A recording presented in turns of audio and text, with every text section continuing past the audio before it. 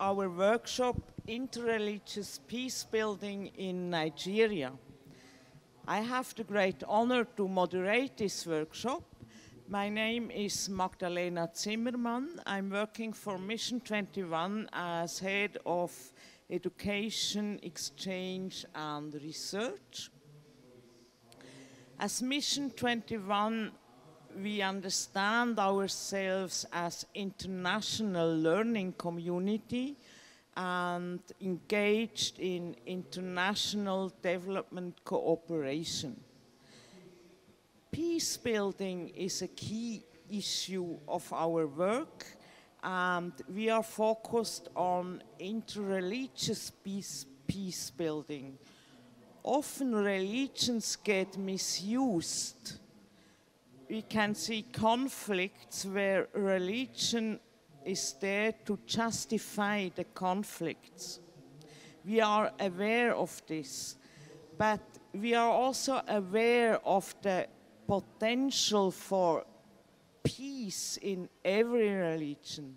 And therefore, if we are talking about peace work, we talk about interreligious peace work because we want doing peace building together also with other religion. It's a pleasure that we have today, this evening here with us Dr. Yakubu Joseph. He is the coordination coordinator for Nigeria, for Nigeria for Mission 21 and he has a lot of experiences and knowledge about the topic of interreligious peace building. He will share with us his experiences and on the end of the workshop you will also have the possibility to raise up your questions. Now, dear Joseph, welcome and Thank the floor is yours. Thank you very much. I'm happy to be here today and to, to meet you and share with you uh, some of our experience. Um, as uh, Magdalene Zimmermann said, Mission 21 is a global learning organization. And so what I'm sharing mostly is what we have learned in the course of our work. And when we talk about the work that we do as Mission 21, we're simply talking about the work that our partners are doing. Their work is our work. They are the ones doing the work. Actually, they are the ones doing the work. And so, in my role as the country coordinator of Nigeria, um, I interface with different partners. And peace building has become a very important component of our work. And over the years, peace building has changed in dimensions. It has not remained what it used to be before. And this is what I'm going to be bringing to you this evening. Um, I'm going to be talking about the bridge building work that we are doing. So when we talk about breach, what will come to your mind is something like a river that serves as a barrier between one end to the other. You need a bridge to connect these two, these, uh, these two ends. And so peace building serves as bridge building in divided communities. In the context of Muslim-Christian conflict, that we have found ourselves. Our peace building effort has geared towards building bridges of understanding, accommodation, and mutual solidarity. Now, I want to take an example of the peace building work that Mission 21 has been involved in in Jos, Nigeria. Jos is in central Nigeria. But before I do that, I would like to give you a little background information. Because things are changing rapidly in Nigeria. such even the numbers, if you are looking at the, the population count, the numbers are changing. The population of Nigeria is changing quite fast. The present, at, at September, middle of September, uh, uh, August, I mean, the population of Nigeria is 218 million. Nigeria was having a population of 32 million in 1950. And in 2000, our population was 124 million. In 1950, our population will be 401 million. And by 2100, the population of Nigeria will be 733 million.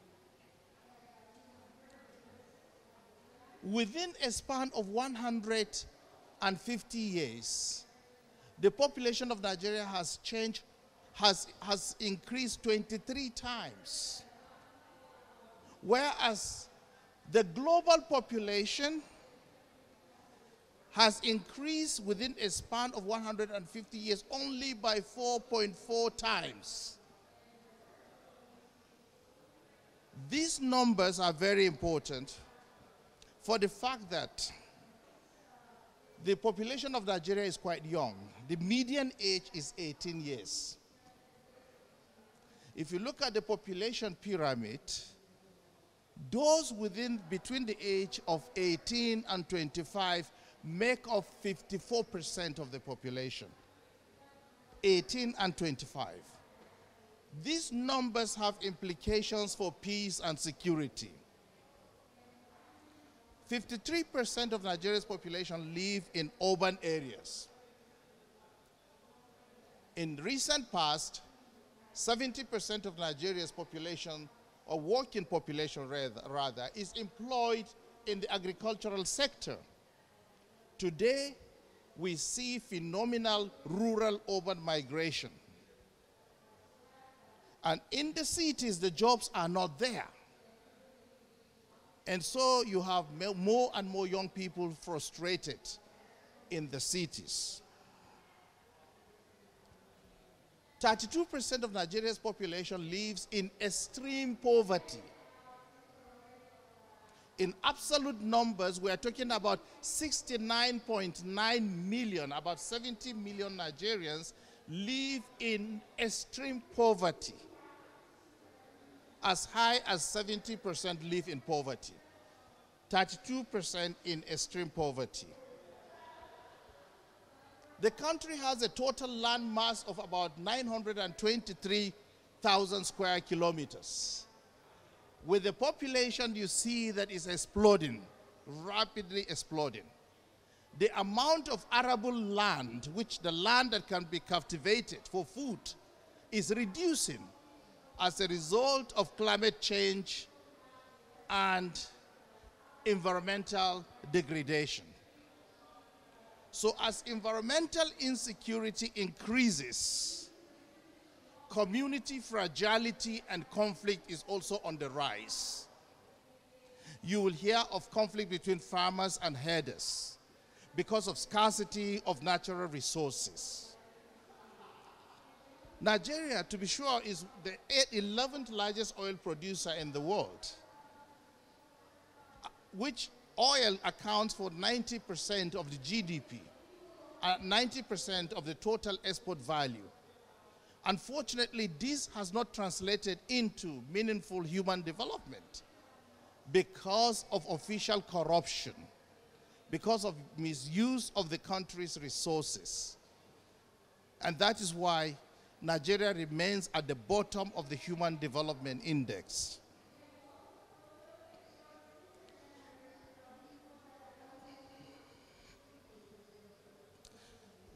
Nigeria is a federal state with 36 states and a federal capital territory. I have a map here, but it's not possible to project. I'm sure some of you have seen the map of Nigeria. The 36 states and the federal capital territory make up the federating units. Despite adopting a federal formula, Nigeria has remained a highly divided state where you find that the over 250 ethnic groups that live together are in, from time to time, constant tension. Christians and Muslims make up the majority, claiming 45% each, and 10% African traditional religions. Even these numbers are contestable.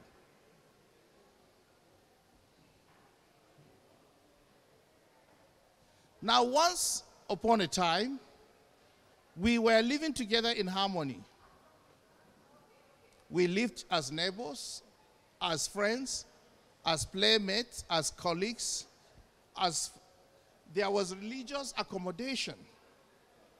There was inter-ethnic, good inter-ethnic relations.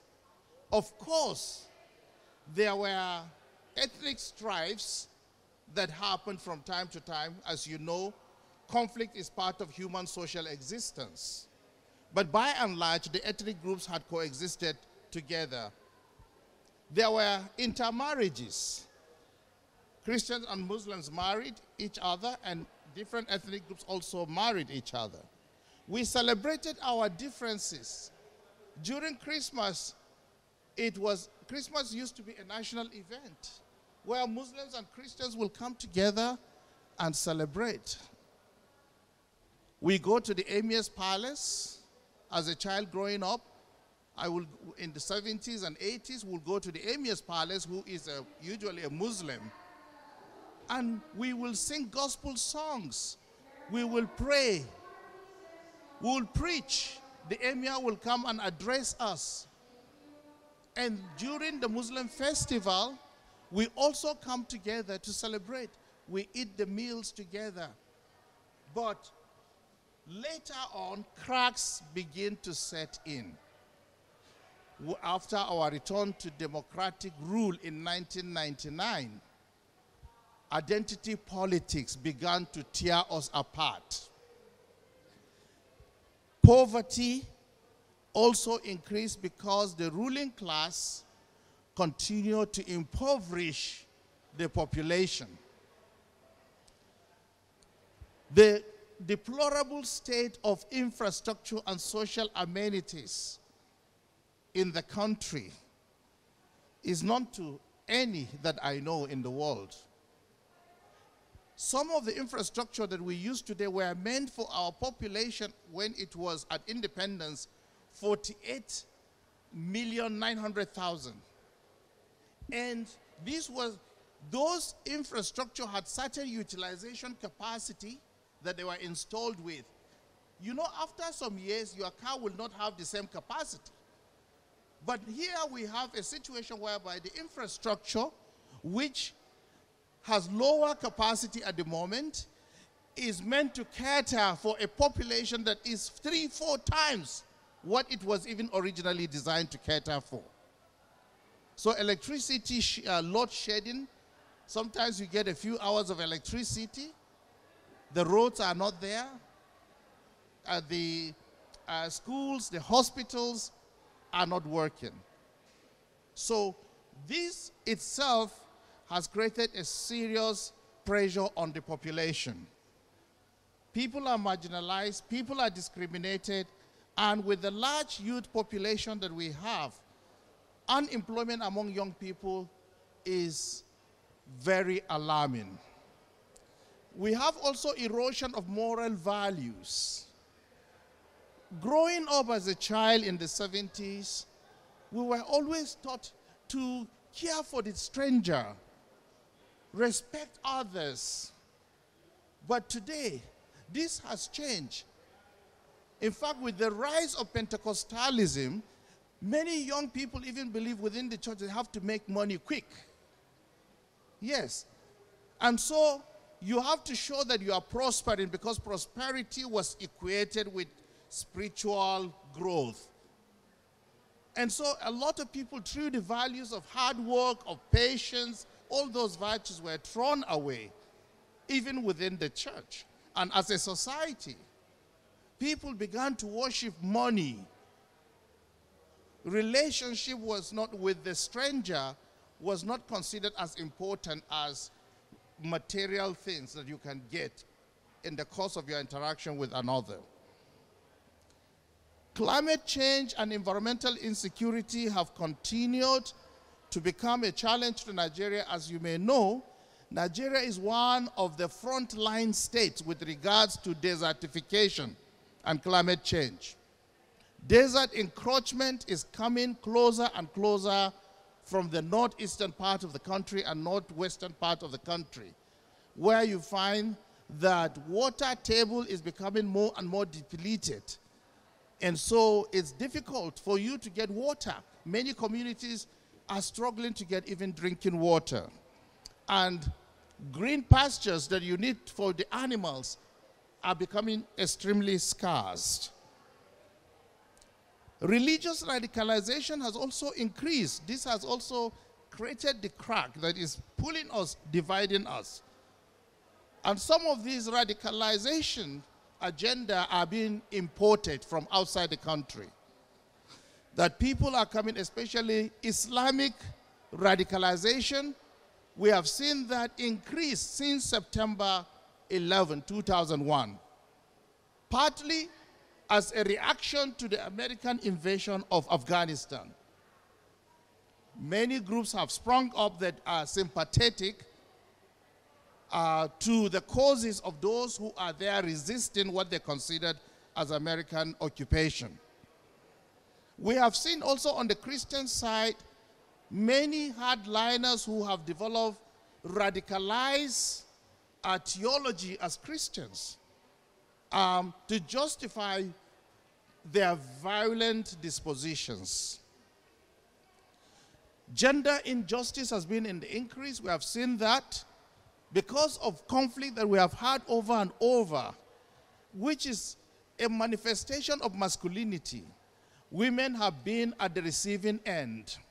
In many of the conflicts, women are, and girls are abducted, subjected to sexual slavery and many of them are left to bear the brunt of conflicts, even years after the conflict has ended. Social inequality, social discontent have all been in the increase, and what I characterize as a broken promise is one of the major bane of the Nigerian society. A, what I mean by a broken promise is when we were growing up, we were told if you go to school and work hard and you have the right attitude, there is no limit. You will succeed. And then coming out of school, the jobs are not there. The few jobs that are there, the elite will take it for their own children. And so the children of the poor, even when they come out of school with good grades, have nothing. They have no job. Because recruitment into the public service is always done are in the night by the ruling class. The senators, the governors, the ministers, and government officials will recruit their own children to the detriment of other children who have no so-called connection. This has deepened, or rather widened, social distance among our people. We have seen violence-induced segregation where Muslims and Christians have moved on, moved to live in their own enclaves. And so we have discursive construction of mental maps, theirs and ours, us versus them. If you come to a city in northern Nigeria, you will always ask, where is our own side of the city? Where can I rent a house? Because of the conflict, our cities have become segregated. You, an outsider may not see it, but there, is, there are parts of the city that are considered no-go areas. And you cannot venture to go into those no-go areas because of your religious identity. We have also seen something that is increasing the social distance. That is the ambivalent potential of social media. Social media can be a glue or a solvent. And we have seen increasingly that social media has become a tool that enables divisiveness. People are spreading fake news and hate messages. On WhatsApp, you, when you wake up, you receive message that attributes a certain plan for attack on the other group and tells you to prepare. Most times these are not true.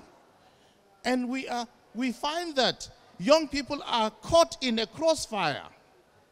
And I refer to this group or generation of young people, the alpha generation, those born from early 2010s to mid 2020s, and the generation Z, born from 1997 to 2012, as well as the millennials, born in 1981 to 1996. Even my generation, Generation X, those of us born at the early stage of Generation X, we have not escaped this trap. Social media. So people, young people, begin, they are used to promote this divisiveness, this social distance, and to promote hate. Now, what has conventional interfaith peace building done? It is often top down. It focuses on religious leaders who have high visibility, and the deliverables are often handshake or communique, joint communique that will come out. Women and youth are relegated to the background. Because if you look at the number of religious leaders we have in this assembly, women are few. So, in even this kind of interfaith peace building uh, forum, often women and youth are relegated. They are not, they're underrepresented. There is less emphasis on everyday life and more emphasis on a one off event. And you find that such meetings also enjoy government support. In Nigeria, the government will even send brown envelope. Those who understand that, you know what I mean. Brown envelope meaning the government will send some money and say to these high level pastors and imams, this is for your transport. So it's money that will go to them. They take place in comfortable environments that are so remote from reality, and attention is often on personalities. Is the Sultan coming? Is the Archbishop coming? Is the Cardinal coming? So such events are centered, revolve around these personalities. Vulnerable leadership is hardly encouraged. And therefore, even though the leaders are traumatized, either because of their own direct trauma or vicarious traumatization, they suppress it because as a man, you shouldn't show that you have trauma. So when they speak, the trauma is influencing it, but they mask it. They also need help. Now, youth in peace building. What we have found our experience as Mission 21 is that youth are key stakeholders. We recognize that they are traumatized and they are seeking answers. And this takes me to the work of a historian called Hansen Marcus, who did research in the 1950s and came up with what he described as the phenomenon of third generation return. According to the phenomenon of third generation return, the questions that the first and second generation are too eager to forget, the first gener- the third generation wants to ask the third generation wants to ask and get answers to questions that the first and second generation wants to sweep under the carpet. So we have, to, we have come to recognize that these young people who have lost their parents will one day want to know, how did my father die? I am above 50, but even after being, even uh, being above 50, there are times I weep when I remember my father was killed in the Nigerian Civil War more than 50 years ago. And therefore, the child today that is a victim of this violence that we're experiencing will ask question, why did I end up as a tout in a motor park without education? Why did I end up poor? Why did I end up like this? The child will want to know. And therefore, we must give attention to that. And these young people carried with them shattered dreams. They have dreams, and these dreams are shattered. I have also discovered in the work we do with Mission 21 that the young people that are often left out in traditional conventional peace building, they are rejected, but they are relied on. Many of them are the gatekeepers and vigilantes in their own communities. When I met some of the young people in the jungle where they are engaged in drug addiction, they told me that the church has that attitude of seeing treating them like outcasts. When they come to church, the church, the ushers, the pastors, and the members despise these young people because they see them as not holy enough to be in the church. But when there is conflict and there is a need to defend the church, they reach out to these young people that are engaged in drug addiction to come and surround the church and defend it. We often think that young people are influenced, but we forget also they are influencers. Peer influence is very powerful. So if they have positive influence, they can also influence their, their peers. We have discovered through our work as Mission 21 also that the jungle has matured. I was even in the jungle three weeks ago. The jungle has matured. Young people without perspective, young people without hope. The only thing that they have is the drugs that they have. And they engage in criminal activities just to survive. Our society will see no peace unless these jungles have peace. If we want to see peace, we must take peace to the jungle. We can't have peace if the jungle has no peace. And our young people are in the jungle. They are not in the meeting hall where we have tea and coffee and high visibility leaders are talking for the camera. These young people have real needs and we better go to meet those needs. So we need a paradigm shift. And this is what we have discovered in the work that we do in Mission 21 with our partners. A paradigm shift, shift from countering narratives to creating alternative narratives. When, when this issue of religious radicalization grew, many people thought the way out is to counter narratives. And so have religious leaders, scholars, theologians who are vast to come up with arguments to debunk those teachings that brainwash the young people. Unfortunately, that failed because if you neutralize the negative and you have nothing in place, nothing to replace the negative stuff, what happens? So now, the paradigm shift that we have embraced is creating alternative narratives, and we don't create it for the young people. The young people have a right of self-determination in charting the course of their lives. So when we talk about the work of Mission 21, where, as I said earlier, we mean the work that is actually done by our local partners. The, our partner church in Nigeria, the EYN Church of the Brethren, the Lifeline Compassionate Global Initiative, and the Peace Training Center. These are our partners. So what, what do we do? Mission 21 is like a pollinator.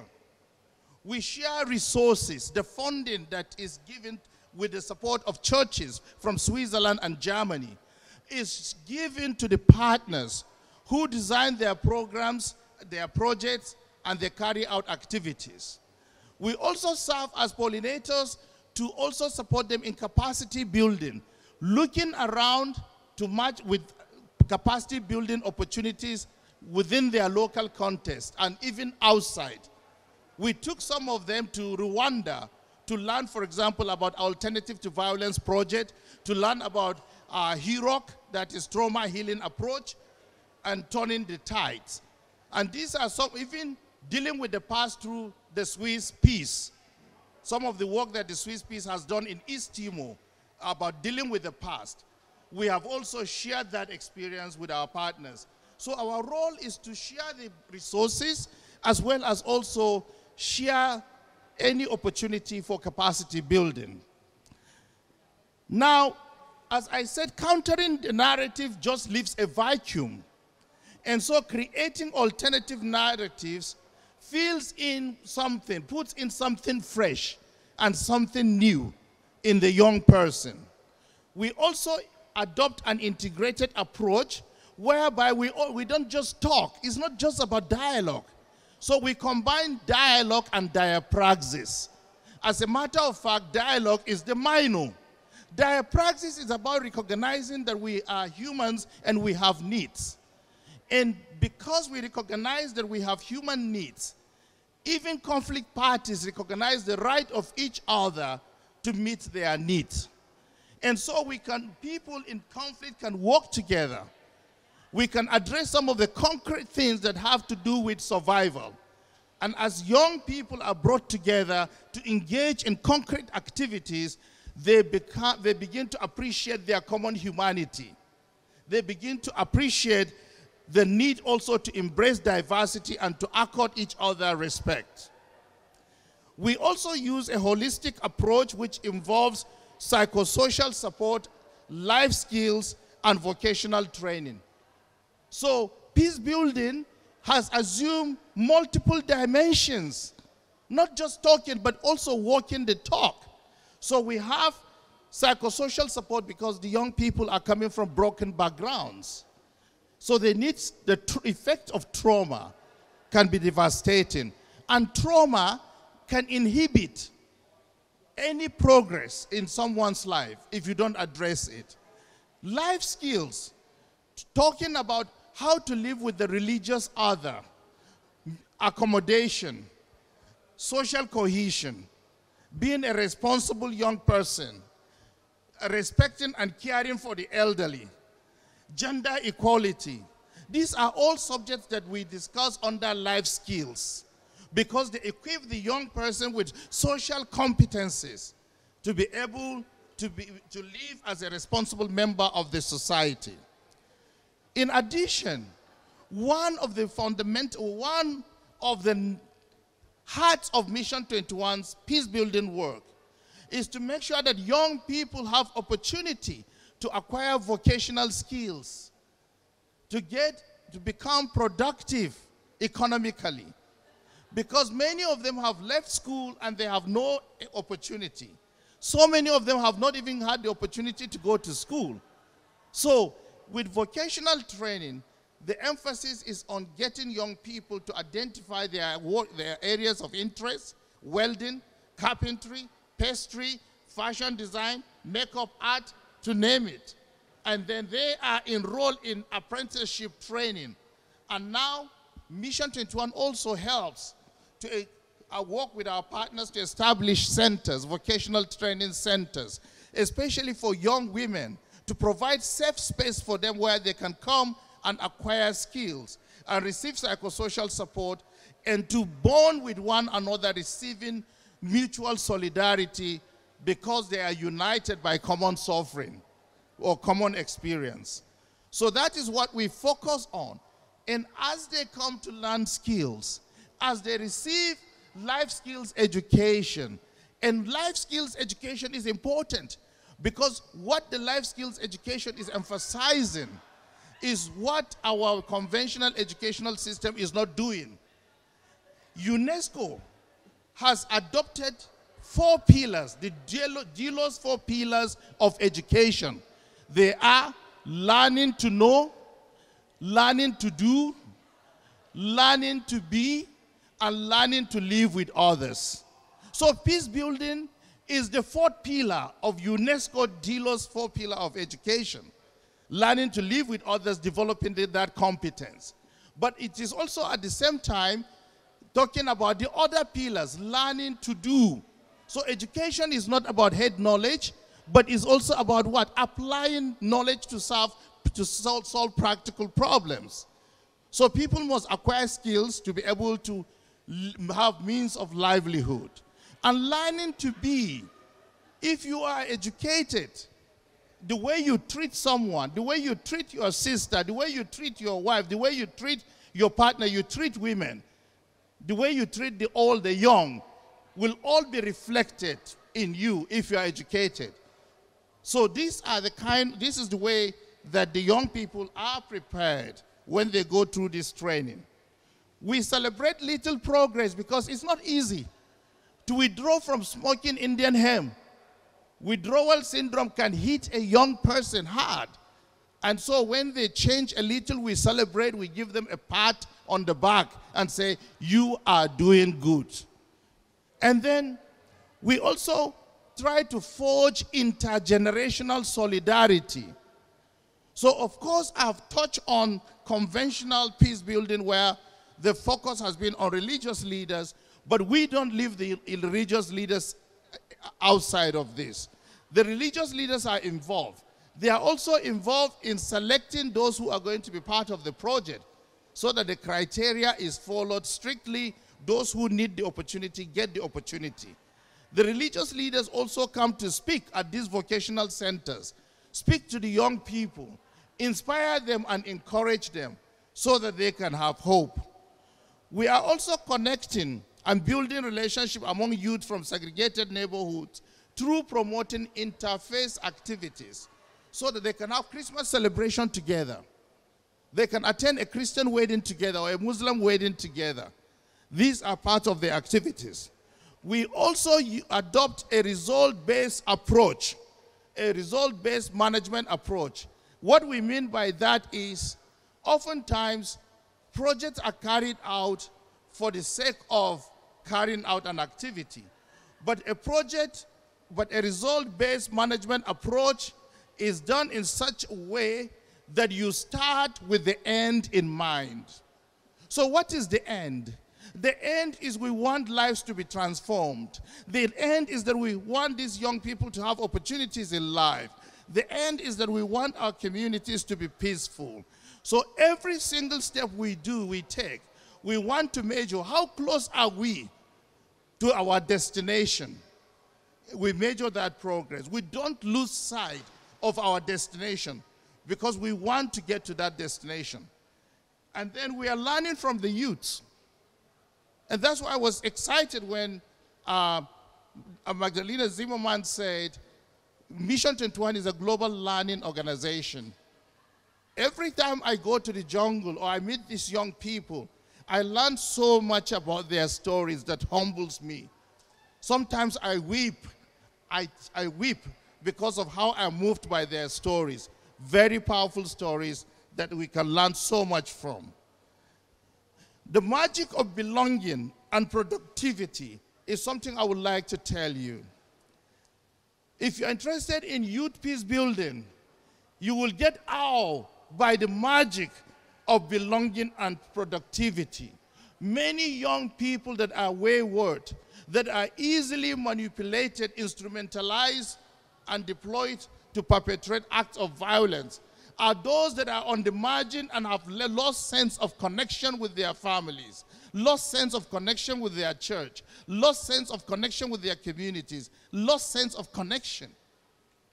That sense of belonging, once it is restored, you will see that self-confidence is coming to the young person.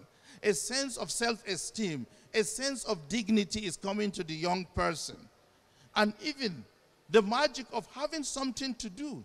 Some of the young people pride themselves that after going through the program, because once you go through the vocational training, upon graduation, Mission 21 makes available to you resources that will help you to start off a business. And I am personally involved to make sure that our the beneficiaries get the best. You don't go to the market and just buy anything. You must buy and give them the best so that they can have a head start. And we have seen those of them who have gone ahead to start their own vocational trades, they are also training other people. One young lady that I have met who is into makeup art has told me that she has trained 20 other girls. And she's a Muslim. She said she has trained many Christian girls as well. And so you can see the difference it makes, the perspective about, the, about life that this young person has because he has a job, he has something he's doing that brings uh, income to him, and because he feels now he's connected, he's part of the community, it is amazing what that can do, sense of belonging and productivity. the multiplier effects can be huge. We do our project and we know we are struggling. The budget is small. But even though it's small, you can do much with it. And so we are always excited to see that with the little that we're able to do, we are seeing the multiplier effect. And these multiplier effects are coming from people who can tell us, young mother, who can tell us that through the training that she went through, today she can send her children to school. A widow who can say that she's able to pay her rent because she's doing tailoring. The Muslim girl that I met recently who told me that she didn't have to take her clothes to a tailor during the Muslim festival. She sewed it herself and even sewed clothes for those who cannot afford. These are stories that move me. And so I want to end by saying that the paradigm shift that I'm talking about for us came from our experience of being engaged in the two models working top down with religious leaders and then seeing that we can work with young people. And those young people that we work with have become pathfinders in their communities with technology in their hands. They are not waiting for some religious leaders, an imam or a pastor to even radicalize them. They have the information. They are spreading hate. They are spreading fake news. They are coming out, they want to fight. And therefore, when we engage the young people in peace building training, and training them, what we have discovered is that they become pathfinders for peace. They become the entry point for us in those communities. And in one of those communities that we are working in Jos, for those of you who know Jos close to TCNN, only a road separates the Christian community from the Muslim community. They killed each other. They destroyed, they burned each other's houses. They don't see eye to eye. Today, the, the community is coming back and is not from the, because of what, of what the leaders have done. The young people. We send we sponsor the Mission 21, sponsor them to attend the Peace Training Center. And the Muslim leader, young, young person, and the Christian young person had to share a room for one month. Yes. And the Christian said to the Muslim, Here is your space, pray. And he, every day he was cleaning it for the Muslim. The Muslim also said, Please keep your Bible here so that my friends will not even touch it. When they went back to their communities, often because the young people, the Christian youth would want to cross over and still in the Muslim side. The Muslim youth will want to cross over and still in the Christian side. And then the community will come and the Christians will say, please don't beat our thief because he is our thief, show him mercy. The Muslim will say to the Christians, don't beat our thief because he's our thief, show him mercy.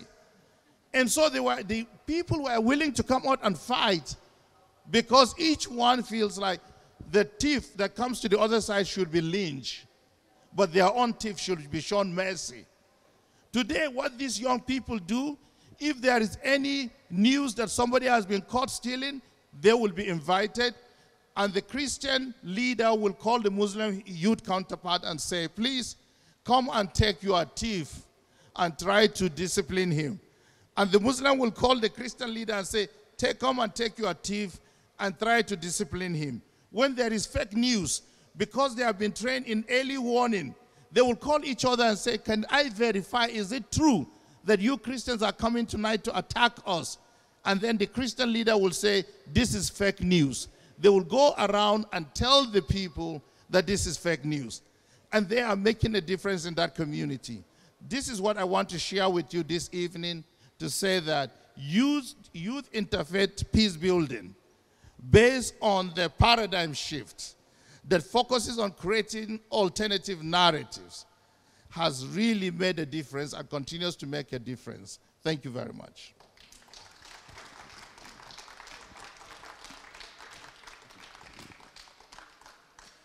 Thank you so much, Yakubu, for this excellent presentation, the introductions.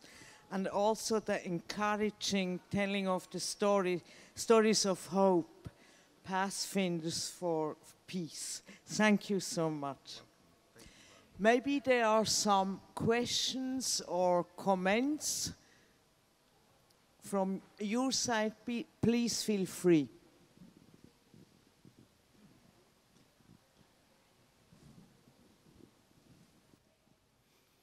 Uh, my name is um, Evangelist Bariture Inuba. I come from Ogoni in Nigeria, in River State precisely. I, I want to be grateful for your analysis. It is a comprehensive analysis of the identity and experience in Nigeria. But um, I want to just make this comment. All of these sordid stories you've said, you've told, does not capture the condition of Ogoni people. And um, Mission 21's interventionist approach has not gotten down to Ogoni people. Ogoni is suffering even more than every experience you may have gotten in the north. Ogoni is the birthplace of Ken Saro-Wiwa that was hanged alongside eight others on November 10, 1995, for his agitation for social justice. I have a video of the kind of houses, mud houses, that could not stand the test of time. After here, if you have your WhatsApp, you give it to me. I'm going to share it for everybody. Ogoni is in an area of 104 square miles, having about 200 oil wells of more than average capacity. We have a plant of capacity 624 megawatts in our community, but we don't have light the federal government have decided to give us the worst brunt, the worst brunt of dehumanization, just because we, were, we are eye-opener to the oppression in the Niger Delta. Ogoni women have lost means of livelihood. I'm a child protection officer. Thank God for Mission 21. I am the director of project and program Luther Welfare for Children at Risk Development Center, where we take care of orphans and vulnerable children. They are on the increase in Ogoni because it is a crisis prone area. As we speak, there is heavy military presence to recommence operation, oil operation in Ogoni. We all know Shell was declared a persona non grata in 1993. And since that time, because of the activities in Ogoni, they were kept, kept at bay from the community. But right now, they have paid off the leaders and have come back, not fulfilling, not implementing the recommendations of UNEP report. All of us can browse UNEP report. It is the report of the United Nations Environment Program. They did, they came to Ogoni and did an environmental impact assessment and all of the recommendation, in fact, in the recommendation, it is said that if alternative water is not provided, everybody on Ogoni will be dead of benzene. We are drinking water that is contaminated with carcinogen. And so, what you have experienced, what you have explained, is far less than what Ogoni is passing through. I came to this place representing the Ogoni Indigenous Ministers Forum with a tattered bag. My bag was torn into pieces in the airport. I came here without a laptop. Even the video I came with, I couldn't play it in the pre-assembly. I was, I'm a facilitator at the Indigenous Peoples Network, and uh, my, the video I came with could not play. That was the organization I represent could not give me a dime when I'm coming to this place. My coming to this place is purely the humanitarian service of the WCC. So I am the only Ogoni man on this whole camp. And that is why wherever I go, I have to say it. Ogoni is just one inch from being exterminated from the surface of the earth. If anyone doubts what I want to say or what I'm saying, I will furnish you with the whole video. Recently, to summarize, because the, the mud houses could not stand the test of time because of the climatic conditions we, we have what we artisanal refining around the coastline borders of Ogoni. So the discharge of soot was over 200%. And people can no longer use the rainwater. What we see is that due to biotic and abiotic factors of environmental pollution, even the mud houses could not stand the test of time. So we decided to embark on what we call uh, eco. We are doing the first eco library using plastic. So we put the sand, the mud in plastic and compact it, use the plastic to lay as a building, as an approach to deep plastic environment, as at the same time provide alternative shelter. All of the video is with me. So I will be grateful if good-minded persons here can consider the Ogoni case Anywhere I go, I say it. I am only here just by the grace of God to let the world know that Ogoni is dying. We are the richest. In fact, Ogoni has the most potential oil block worth more than $550 billion in Africa as we speak. But yet, the poorest in Nigeria. We, since 1967, when River State was created, an man has not become a, river, a governor, an man has not become a, a deputy governor, an man has not become a chief judge, yet we are the most educated. So we are suffering so much. Thank you so much.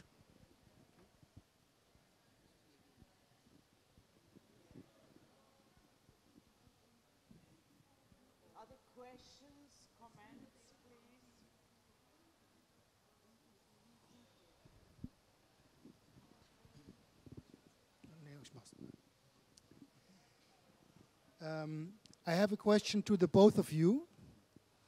First of all, I want to thank you, uh, Dr. Joseph, for your very lively and uh, uh, encouraging presentation. Even though the computer system was not on our side, I didn't miss a single slide because I could just see it from the way you explained. Thank you very much for that.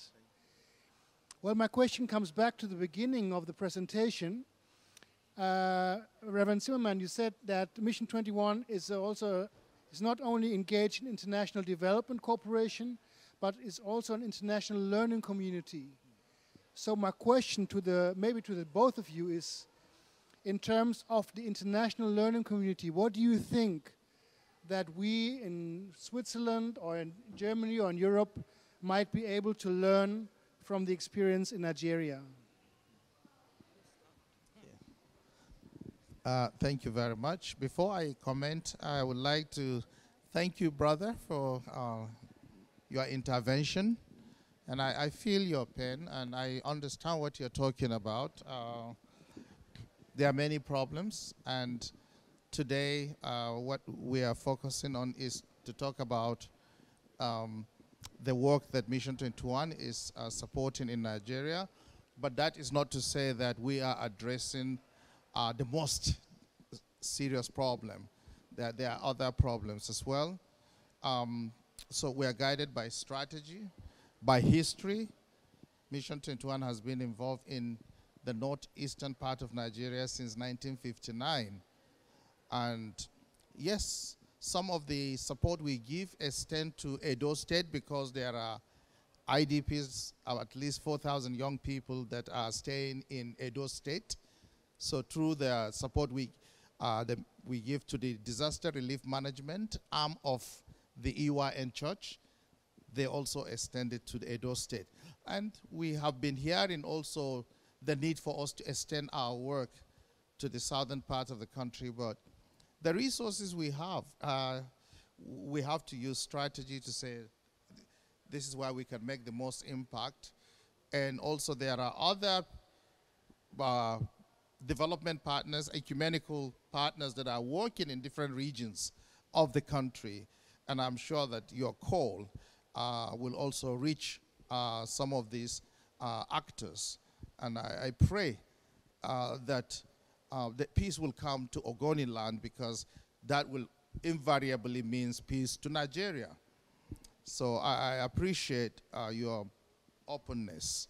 Um, yes, thank you for your affirmation, and we are indeed um, a learning organization. And we have learned uh, working uh, in Nigeria. One of the things that I have found amazing is the degree to which people are resilient. The resilience of people, especially women. Especially women. I have spent time working in IDP camps where most times I break down. I break down because I can't take it. But the people that we support have unshakable, abiding faith in the Lord. And feel that even in their darkest moment, the Lord was with them. And they believe that what had happened to them can only reinforce their commitment to God than pull them away from Him. Some of the women that were part of a vocational training program in Shuari camp in Maiduguri is one of the IDP camps that Mission 21 through the EYN church is supporting. They said they have learned these skills, tailoring, knitting, so that they will be able to raise money to send their daughters to school. Because Boko Haram had tried to kill education in that region. O- about 200 of the Chibok schoolgirls were from the church, from the EYN church. And these women are saying, we will not allow Boko Haram to succeed. They didn't go to school, but their children must go to school, especially their daughters must go to school. This kind of resilience that defiles the kind of evil that they experience is something that I could not fathom. And this has encouraged me over and over. Anytime I go to them, I am the one that is strengthened. And I tell you, even if you are a pastor, you go there, they will be the ones to preach to you by their life. And so the lesson for me is that human resilience has that tensile strength that no metal, no metal possesses. What happened to them would have broken them into pieces 10 times, but they are strong, they are firm, and they remain resolute. Thank you. Thank you so much. I think resilience resi- is, is something we can really learn from the people from in other countries. I was thinking on this during the COVID pandemic, uh, our behaviors and their behavior. And I think what, what Yakubu was telling us, for example, about peace camps for young people. In Switzerland, we are also living in an intercultural, interreligious society. And what you experienced with these youth camps and living together, for example, a real Swiss person living in Switzerland since centuries, maybe to share a room a month with a, with a refugee from Syria, as you mentioned before. Maybe this would also be a good learning experience for our churches, for our societies. So thank you so much, Yakubu. We can learn a lot about it. I'm sorry that we have to finish here sharp a quarter to eight because there will be afterwards a reception in this hall and they have to prepare.